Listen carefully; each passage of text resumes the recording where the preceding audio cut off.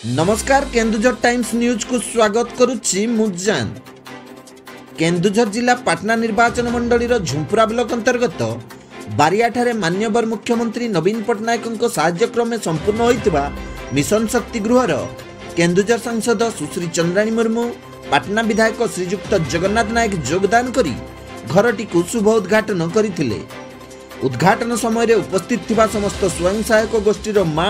ଓ ଭଉଣୀମାନଙ୍କ ସହିତ କଥାବାର୍ତ୍ତା ମଧ୍ୟ ହୋଇଥିଲେ ବ୍ୟୁରୋ ରିପୋର୍ଟ କେନ୍ଦୁଝର ଟାଇମ୍ସ